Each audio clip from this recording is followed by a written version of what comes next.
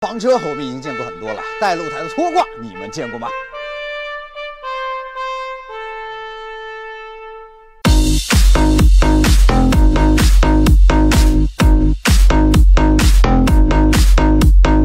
这台爱旅的六三零呢，长度六米三，宽度两米二，高度两米六，重量也达到了一点八七吨。它的内部结构是一室一厅一厨一卫，还带一个小院子。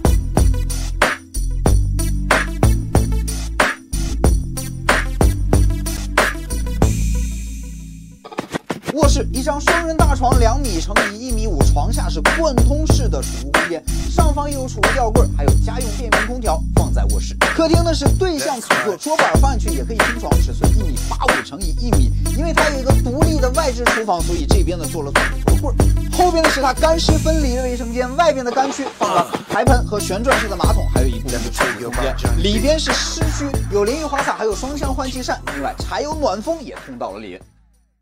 最后边呢就是它的露台和独立厨房区了啊，这边有双开门的冰箱、微波炉、电磁炉、燃气灶、燃油灶都可以装。这边做完饭摆在这儿就可以开吃了。另外后墙翻起来之后，这里还是一个独立封闭式的厨房，避免油烟侵蚀内饰。五度电，一百五十升水，十七万八的标价，我敢说这台车放到任何一个露营地，你都是这条街最靓的仔。